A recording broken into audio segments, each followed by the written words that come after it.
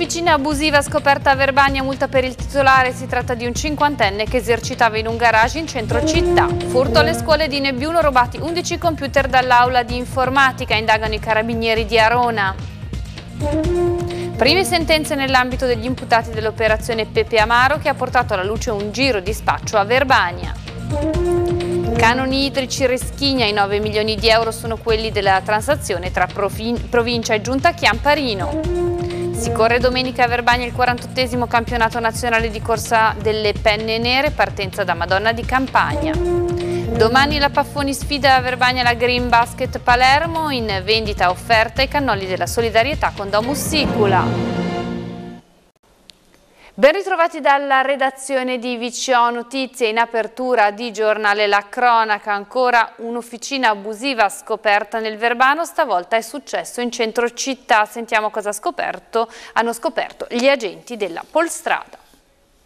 Un'officina di autoriparazioni e carrozzeria abusiva nel centro di Intra. L'ha scoperta la polizia stradale nell'ambito dei controlli contro l'abusivismo nel settore commercio riparazione veicoli. Durante il sopralluogo sono state sottoposte a sequestro diverse attrezzature, tra le quali un ponte da lavoro utilizzate per eseguire le riparazioni. È stata inoltre rilevata una gestione completamente irregolare dei rifiuti pericolosi. L'officina abusiva era gestita da un cinquantenne del posto incensurato proprietario di una regolare impresa individuale di commercio d'auto. L'uomo è stato segnalato all'autorità giudiziaria per la violazione della normativa ambientale. Infatti nella zona adiacente l'officina è stato rinvenuto un deposito incontrollato di rifiuti di ogni genere, scarti della sua attività tra i quali olio esausto, filtri d'olio usati, pneumatici, parti di veicoli in plastica e vari rottami ferrosi, oltre a sacchi contenente carta sporca di vernice e dischi abrasivi. Sul posto c'erano anche vari veicoli in attesa di riparazione, alcuni dei quali parzialmente incidentati. L'uomo è stato inoltre sanzionato amministrativamente per la violazione della legge che disciplina l'attività di autoriparazione per la sicurezza della circolazione stradale. L'attività abusiva è stata ovviamente chiusa. E furto di computer alle scuole di Nebbiuno. 11 computer sono stati asportati nella notte tra martedì e mercoledì scorsi dall'aula di informatica delle scuole elementari di Nebbiuno. A fare la scoperta, mercoledì mattina, è stato il personale delle scuole, le insegnanti. I ladri sono entrati dal retro, hanno alzato una tapparella e poi forzato con arnesi da scasso una porta finestra d'ingresso. Nessuno ha visto nulla, in quanto il serramento della strada non è visibile. Tra l'altro non vi sarebbero telecamere di sicurezza e nemmeno sistemi di allarme per cui difficile diventa ora risalire agli autori del furto. L'edificio scolastico si trova in via Risorgimento al numero 1, la strada che dal centro paese porta verso la frazione di Corciago. È piuttosto isolato rispetto alle villette e alle attività vicine. Molto adirata è Elis Piaterra, sindaco del comune del Vergante. Non abbiamo idea chi possa essere l'autore, dice. Può darsi individui già conosciuti dalle forze dell'ordine. Li potranno rivendere sul mercato dei ricettatori, ma per poche decine di euro ciascuno. Sono stati tempestivamente avvisati gli agenti della polizia locale e i carabinieri della compagnia di Arona. Questi ultimi stanno lavorando su elementi precisi utili a risalire gli autori del furto. I sospetti vanno nella direzione di soggetti già conosciuti per atti di microcriminalità e furti. Certamente le persone che hanno commesso il furto erano a conoscenza dell'edificio e dei preziosi contenuti delle aule. Sotto certi aspetti potrebbe apparire come un furto su commissione. Sicuramente i computer saranno messi sul mercato dei ricettatori in località ben lontane dal Vergante. È un verbanese di 32 anni, Giovanni Maltese, la vittima dell'incidente sul lavoro avvenuto martedì in Svizzera tedesca nel cantone Argovia. L'uomo da tempo si era trasferito all'estero per lavorare. I familiari hanno già raggiunto il luogo della tragedia per il riconoscimento della salma. Nei prossimi giorni avverrà il rimpatrio, così potranno essere fissati i funerali. Sembra che Maltese sia stato ucciso dal carico che si è staccato da una gru. Vi ricorderete l'operazione antidroga denominata Pepe Amaro. In questi giorni alcuni imputati hanno definito la loro posizione davanti alla giustizia. Prime sentenze per l'operazione antidroga Pepe Amaro della squadra mobile della Questura. L'altro giorno davanti al GUP si sono definite le posizioni di buona parte degli imputati. L'indagine si era conclusa lo scorso febbraio e riguardava un giro di spaccio intorno a un bar di Pallanza a Verbagna, il Pepe Nero, oggi chiuso.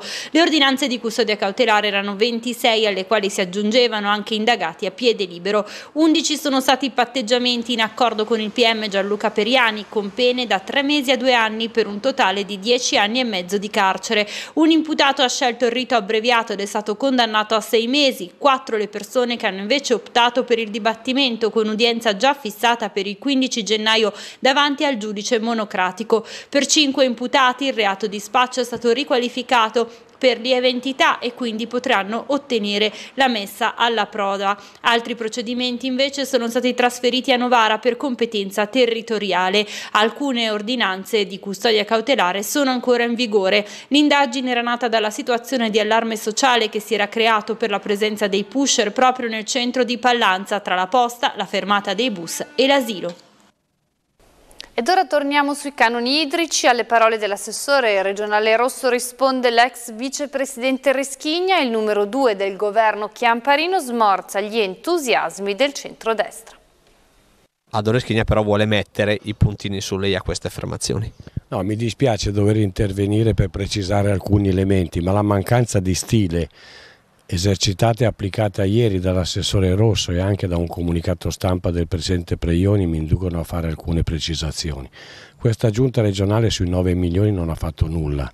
Questi 9 milioni sono frutto dell'accordo fatto dalla giunta Chiamparino con la provincia nel momento in cui la provincia stava rischiando il dissesto provocando danni irreparabili al sistema economico del VCO che era creditore nei confronti della provincia.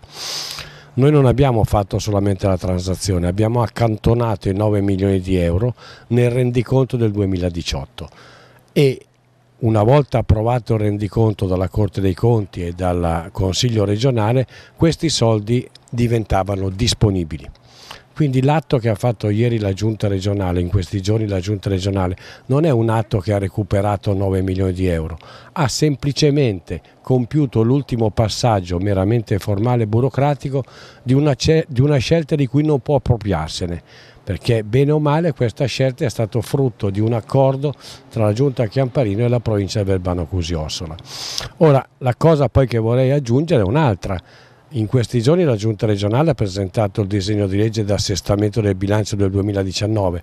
Non vedo un euro in più rispetto ai 4 milioni di euro che storicamente noi abbiamo messo a favore della provincia del Verbano Cusio-Ossola. Forse anche per questo la provincia non ha fatto comunicati, non ha cavalcato la dichiarazione di Rosso e di Cirio. La provincia credo che abbia, abbia avuto preoccupazione nei giorni scorsi quando l'assessore al bilancio aveva annunciato che intendeva chiedere una proroga del 5 di novembre che era la data ultima per il pagamento dei 9 milioni di euro con il rischio che il piano di risanamento e il piano di pagamento nei confronti delle imprese slittasse con danni ulteriori al sistema economico del Verbano Cusio-Ossola.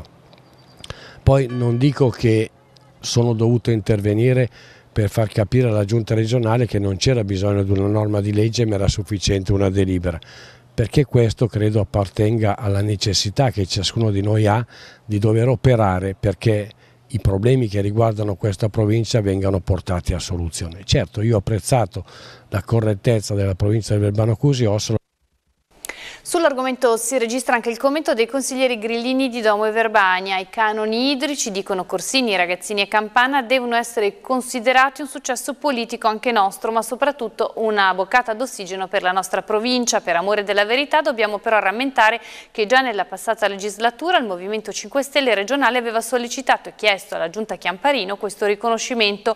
Ora la speranza è che si arrivi a una legge che possa garantire automaticamente questi fondi senza farli passare come elargizione di qualche forza politica. Ha creato parecchi problemi al traffico l'incidente stradale successo attorno alle 15.30 di questo pomeriggio lungo la statale 34 del Lago Maggiore nel territorio di Verbania. È successo nei pressi del Teatro Maggiore. Coinvolte diverse vetture, sul posto si sono create code per soccorrere i feriti. È arrivata un'ambulanza della Croce Rossa. A bilancio del sinistro sono stati tre feriti, un codice giallo e due codici verdi. Per i rilievi del caso e per regolare il traffico è intervenuta una pattuglia della Polizia Municipale. E nuovo parcheggio per la frazione Verta a Omegna.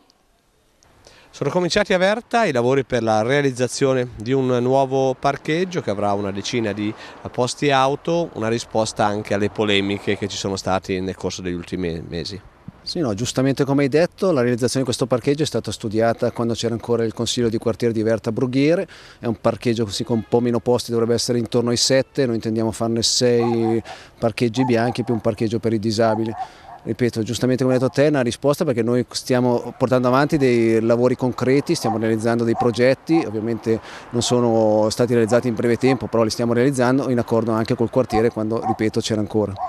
Eh, poi ci saranno anche interventi per la sistemazione idrogeologica grazie ai fondi ATO. No, grazie ai fondi ATO eh, abbiamo fatto degli interventi su Rio Bertogna, abbiamo investito lì 25.000 euro di questi fondi per eh, il taglio della vegetazione e la sistemazione del disalveo. Eh, altri interventi sulle brughiere Laverta abbiamo portato avanti nel 2018 che erano quelli di, poter, quelli di aver asfaltato la, il ponte sullo Strona in cui abbiamo anche cambiato di giunti dilatatori l'altra cosa che stiamo adesso verificando, che dovremmo verificare poi con, fut, con il futuro quartiere, quando verranno rifatti questi quartieri, è quello di verificare come donare i 100.000 euro al, a questo quartiere, perché l'intenzione fino adesso era quello di realizzare una rotonda sotto la galleria, però visto la modifica che avevo fatto fare l'anno scorso della segnaletica, sembra che questa segnaletica funziona molto bene, perciò mettiamo un attimo in stand by questo progetto, soprattutto in vista di una riapertura di questa galleria.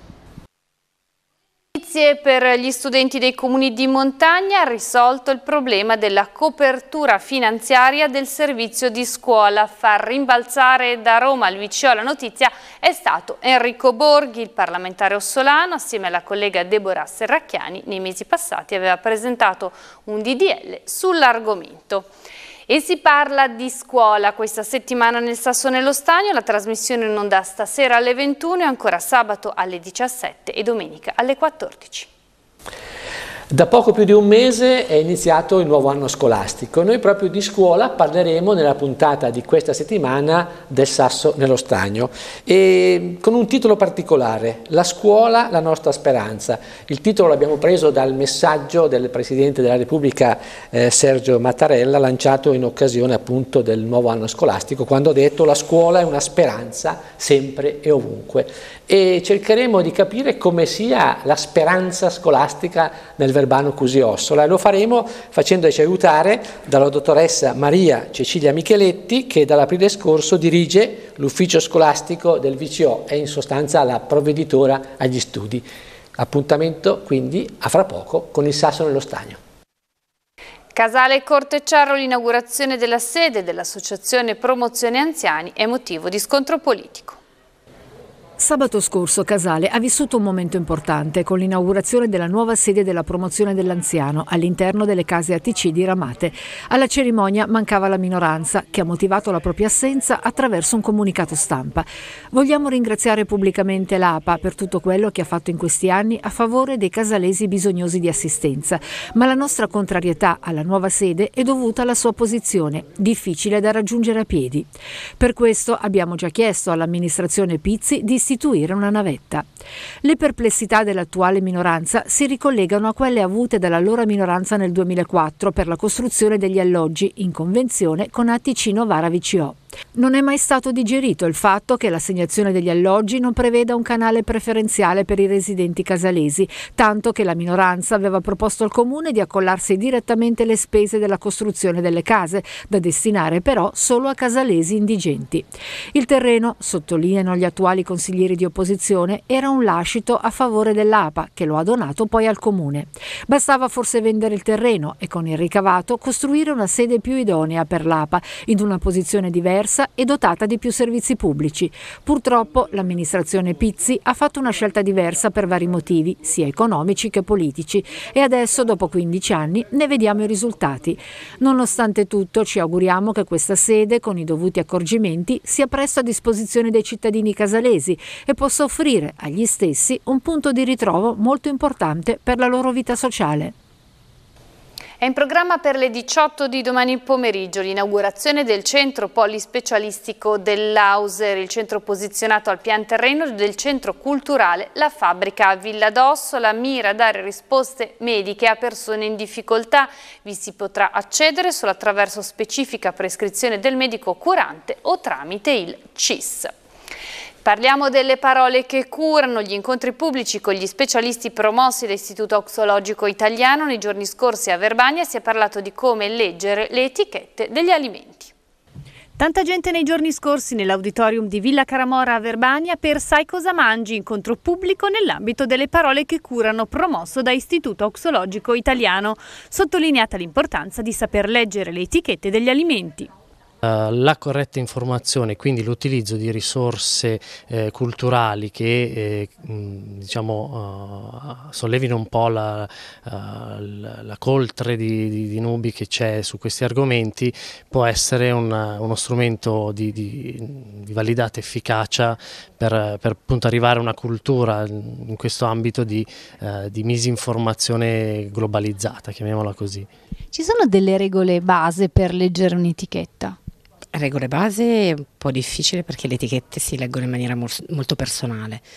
Possiamo dire che ehm, la prima regola è sicuramente chiedersi che cosa ci serve, farsi delle domande su quelli che sono i nostri bisogni e poi eh, l'etichetta che è la carta d'identità del prodotto che compriamo ci serve per andare a, a sapere e trovare l'informazione che eh, risponderà alla nostra domanda. Tendenzialmente le parti che ritengo più importanti sono appunto la denominazione di vendita, che è questa categoria merceologica a cui il prodotto appartiene e che ci dà delle informazioni molto importanti sulla eh, qualità del prodotto, l'elenco degli ingredienti perché ci dice chiaramente che cosa il produttore ha messo dentro e di solito vale la regola del meno ingredienti ci sono, più abbiamo probabilità che il prodotto sia di qualità e poi la tabella nutrizionale. Come dobbiamo leggere la tabella nutrizionale? Eh, la tabella nutrizionale è questo strumento utilissimo che però dobbiamo imparare a usare per confrontare prodotti analoghi e insieme. Quindi non si legge semplicemente una tabella per volta, ma si prendono due confezioni, si avvicinano e si confrontano i prodotti per cercare di capire quale dei due è più adatto a quelle che possono essere le mie esigenze nutrizionali. Cambio di location per questione di spazi, cresce il pubblico delle parole che curano, è partita una nuova stagione. Sì, si consolida questa iniziativa che stiamo portando avanti da un paio d'anni in Villa Caramora eh, che abbiamo chiamato le parole che curano perché pensiamo appunto che le parole abbiano un, ruolo anche nella cura e il tempo da dedicare alle persone per ascoltare le loro domande, rispondere come questa sera ai falsi miti per esempio sull'alimentazione e incontrarsi eh, ecco, per discutere temi della salute. Da domani e fino al 23 di ottobre Omegna celebra Rodari con l'annuale Festival di Letteratura per Ragazzi, quest'anno con qualche novità. Festival Rodari, chiamiamolo sempre eh, così, anche se la definizione giusta sarebbe Festival di letteratura per ragazzi Gianni Rodari, dal 12 al 24 ottobre, sesta edizione, con tantissime novità. La prima cosa da sottolineare è che sta diventando, sta crescendo proprio in vista di Rodari 2020, quando poi sarà l'apogeo di Omegna Rodariana. Quindi ehm, gli eventi nuovi, il festival sarà dal 12 al 23 ottobre e gli eventi nuovi sono il, la partenza, perché quest'anno inizieremo con un grande ballo che un po' ricorda, per gli omegnesi ricorda i balli storici che c'erano alla discoteca Perla degli anni 70, ma l'abbiamo fatto seguendo il carattere, si intitolerà In una favola ed è appunto un momento in cui eh, personaggi Disney insieme alle scuole e alle associazioni omegnesi si ballerà, si, si inizierà a entrare in questo spirito della favola della creatività e poi e tutti i bambini sono invitati a venire con uh, vestiti dal loro eroe preferito e posso anticipare che ci saremo anche io il sindaco in maschera, quindi potrebbe già essere quello anche una, una ragione per venire al ballo. Ma um, Seguirà poi tutta una serie di eventi che chiaramente sono incentrati sugli autori perché è un festival di letteratura, quindi avremo innanzitutto il, la giuria, i nostri giovani del Consiglio Comunale dei Ragazzi con scrittori in erba che presenteranno il vincitore dal loro punto di vista e poi ci sarà il premio invece della giuria mh, del premio letterario che eh, posso anche anticiparlo, anzi lo faccio anche vedere. Chen Yang Ong, Il piccolo pescatore e lo scheletro, che è un libro illustrato e eh, per quanto riguarda invece i libri di narrativa Il posto segreto di Susanna Mattiangeli e eh, Felicita Sala che sono i due vincitori che poi comunque saranno presenti da noi e avranno modo di interagire con il pubblico. Um, altri eventi importanti, vabbè ci sarà la, la, la, la, torta perché questo è sempre un momento importante e eh, vorrei sottolineare il corso di formazione perché questo è una perla eh, di quello che sta avvenendo per, in preparazione di Rodale 2020, Omegna ha creato un, for- un corso di formazione formazione per insegnanti e quest'anno durante il festival si terrà a Verbagna. Siamo all'appuntamento con i sapori dell'Alto Piemonte, sentiamo quale ricetta ci propone lo chef del ristorante La Beola del Grand Hotel Majestic di Verbagna.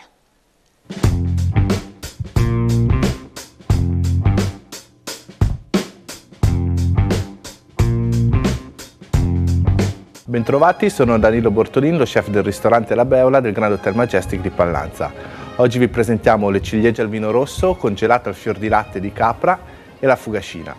Gli ingredienti per la ricetta sono dello zucchero pectinato, quindi con aggiunta di pectina, quello classico per fare le marmellate, del vino rosso ossolano, in questo caso un prunente, degli aromi classici per il vin brûlé, cannella, anice stellato, chiodi di garofano e scorze di arance e di limone, delle ciliegie grosse snocciolate, una fugascina in questo caso di mergozzo, quindi questo biscotto tipico un po' sbriciolato, dei germogli e dei fiori.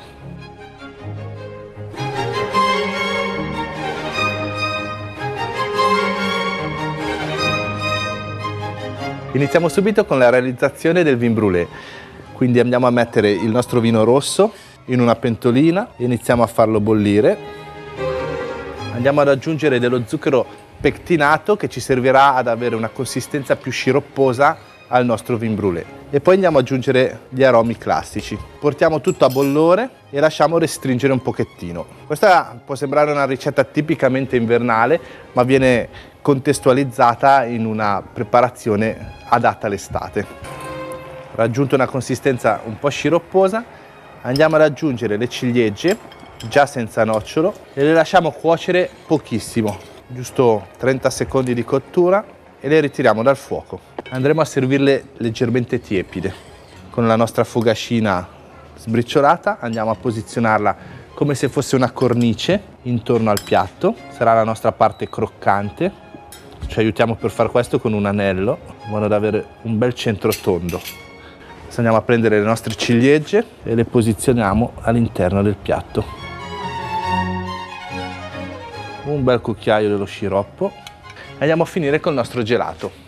In questo caso abbiamo voluto usare un latte di capra per avere un gelato un po' più particolare, un po' più asprigno. Va benissimo anche un fior di latte, adatto anche un variegato alla marena che richiama il frutto del dolce. E andiamo a finire con qualche germoglio.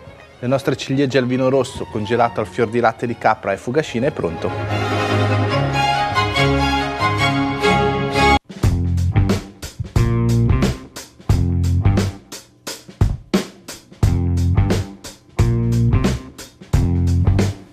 Penne nere in festa a Verbagna per il 48 campionato nazionale di corsa in montagna individuale. Domenica Verbania ospita il 48 campionato ANA di corsa in montagna individuale. Ad organizzarlo è la sezione di Intra, due percorsi differenti a seconda della categoria. Uno 11,5 km 610 metri di dislivello, il secondo, quello ridotto, 8 km 350 metri di dislivello. La partenza per tutti è dalla chiesa di Madonna di Campania. Sabato alle 14 l'apertura dell'ufficio gare, seguirà l'ammassamento degli atleti in largo Tonolli alle 16.45 5 la sfilata con la fanfara alpina e l'alzabandiera al monumento ai caduti di Pallanza. Domenica giornata di gare alle 9 partenza degli atleti, percorso ridotto alle 10 invece il percorso completo. Sono onorato di poter ospitare questa manifestazione di livello nazionale per la prima volta nella nostra sezione è stato il commento del presidente delle penne nere di Intra Giampiero Maggioni. Tutti gli atleti che prenderanno parte alla gara, ha detto, potranno cimentarsi su un percorso panoramico con vista sul Lago e sul Golfo Borromeo. L'evento si inserisce nel centenario di fondazione dell'Associazione Nazionale Alpini e nel 99 anno di vita della sezione Intra. Ed ora il basket, domani la Paffoni sfida a Verbania la Green Basket Palermo in vendita offerta i cannoli della solidarietà con la collaborazione di Domus Sicula, il ricavato ad un bambino autistico per il progetto di Pet Therapy torna alla Palabattisti da Paffoni in una serata davvero speciale per mille motivi. La Fulgor domani alle 21 affronterà la Green Basket Palermo che dopo aver riposato alla prima ha perso a Firenze sabato scorso al termine di una ottima partita giocata dai ragazzi dell'ex coach di Empoli Bassi. Vogliamo continuare la striscia vincente di inizio stagione? Abbiamo due partite in casa, le parole di Jacopo Balanzoni, e vogliamo e possiamo fare due su due con Palermo e Borgo Sesia nell'infrasettimanale. Il morale è alto anche perché quando vinci è tutto più semplice. Palermo è una buona squadra che va affrontata con il giusto spirito e noi non la sottovaluteremo. Come detto saranno diversi gli eventi collaterali previsti domani sera. Per la prima volta nella sua storia la Fugor giocherà contro Palermo e per celebrare e salutare degnamente la società siciliana sono stati organizzati alcuni appuntamenti. L'associazione Domus Sicula del BCO prima del match consegnerà una targa in segno di amicizia agli ospiti e dall'ingresso ci saranno i cannoli della solidarietà. Il ricavato delle vendite andranno a favore di Giacomo, bambino autistico, per il progetto di Pet Therapy a scuola che lo coinvolge direttamente. Presente alla partita gli studenti dell'ENAIP di Omegna e dalla, dalla Chiesa Spinelli, oltre a ragazzi tecnici e genitori del Gravellona San Pietro sempre per la pallacanestro in Serie B2, derby piemontese per la Mami, attesa dalla sfida del Pala 958 ad Alba contro i ragazzi di Cocci Iacomuzzi. Siamo in chiusura per gli aggiornamenti www.vcoazzoratv.it, grazie per essere stati con noi e buon proseguimento con i nostri programmi.